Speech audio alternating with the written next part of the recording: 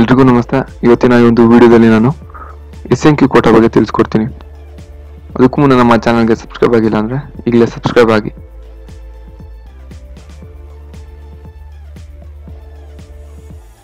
So ಏನಿದೆ S N Q Kota? ಈ ಈ ಒಂದು ಕೋಟಾ ಎಲ್ಲರಿಗೂ ಸಿಗುತ್ತಾ? ಎಲ್ಲ ಕೋರ್ಸ್ಗಳಿಗೂ ಸಿಗುತ್ತಾ ಅಂತಂದ್ರೆ, ಇಲ್ಲ, ಇದು ಬರೀ ಇಂಜಿನಿಯರಿಂಗ್ ಮಾತ್ರ, ಬೇರೆ ಕೋರ್ಸ್ಗಳಿಗೆ ಈ ಒಂದು ಎಸ್ ಎನ್ ಕ್ಯೂ ಕೋಟಾ ಇರೋದಿಲ್ಲ. ಬರೀ ಇಂಜಿನಿಯರಿಂಗ್ ಕಾಲೇಜಸಲ್ಲಿ ಮಾತ್ರ ಈ ಒಂದು ಎಸ್ ಎನ್ ಕ್ಯೂ ಕೋಟಾ ಇರುತ್ತೆ.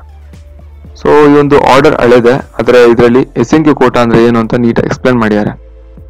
ಈ ಒಂದು ಎಸ್ ಎನ್ ಕ್ಯೂ ಕೋಟಾ ಏನು ಅಂತ ಅಂದರೆ ಪ್ರತಿ ಇಂಜಿನಿಯರಿಂಗ್ ಕಾಲೇಜಲ್ಲಿ ಪ್ರತಿಯೊಂದು ಬ್ರಾಂಚ್ ಅಲ್ಲಿ ಎಷ್ಟು ಸೀಟ್ ಇರುತ್ತೋ ಆ ಸೀಟ್ಸ್ ಅಲ್ಲಿ five percent seat S N Q ಕೋಟಾದ seats ಆಗಿರುತ್ತೆ.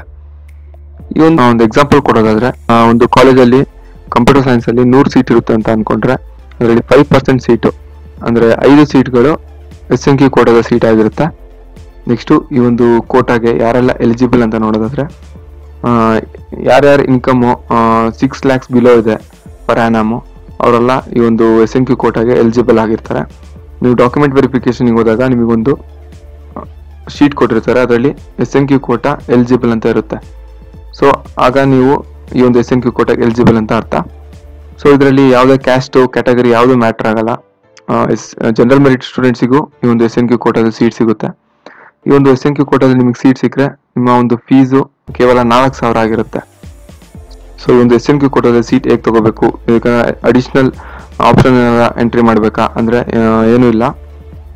ನೀವು ಆಪ್ಷನ್ ಎಂಟ್ರಿ ಮಾಡಿ ಕಾಲೇಜ್ ಸಿಕ್ಕಾದ್ಮೇಲೆ, ಆ ಬ್ರ್ಯಾಂಚ್ಗಳಲ್ಲಿ ನೋಡಿ ಅವರು ಯಾರು ಮೆರಿಟೋರಿ ಸ್ಟೂಡೆಂಟ್ ಇರ್ತಾರೆ, ಅವ್ರಿಗೆ ಮಾತ್ರ ಈ ಒಂದು ಎಸ್ ಎನ್ ಕ್ಯೂ ಕೋಟಾದಲ್ಲಿ ಸೀಟ್ ಕೊಡ್ತಾರೆ. ಸೊ ನಿಮ್ಮ ರ್ಯಾಂಕು ಆ ಒಂದು ಕಾಲೇಜು ಮತ್ತು ಬ್ರ್ಯಾಂಚಲ್ಲಿ ಹೈಯೆಸ್ಟ್ ಆಗಿರಬೇಕು. ಹಾಗೂ ಸಾಕಷ್ಟು ಫ್ಯಾಕ್ಟರ್ಸ್ನ ಅವರು ಕನ್ಸಿಡರ್ ಮಾಡ್ತಾರೆ. ಸೊ ಇದು ನಿಮ್ಮ ಕೈಲಿರೋದಿಲ್ಲ, ಅದು ಎಸ್ ಎನ್ ಕ್ಯೂ ಕೋಟಾದ ಸೀಟು ಅವರೇ ನಿಮಗೆ ಅಲಾಟ್ ಮಾಡಬೇಕು. ಸೊ ಇದಾಗಿ, ಇದಕ್ಕಾಗಿ ಏನು ಅಡಿಷ್ನಲ್ ಆಪ್ಷನ್ಸ್ ಏನೂ ಮಾಡೋಂಗಿಲ್ಲ. ಒಂದು ವಿಡಿಯೋ ಇಷ್ಟ ಆಯಿತು ಅಂತ ಅನ್ಕೊಂತೀನಿ. ಈಗಲೇ ಲೈಕ್ ಮಾಡಿ ಶೇರ್ ಮಾಡಿ. Thank you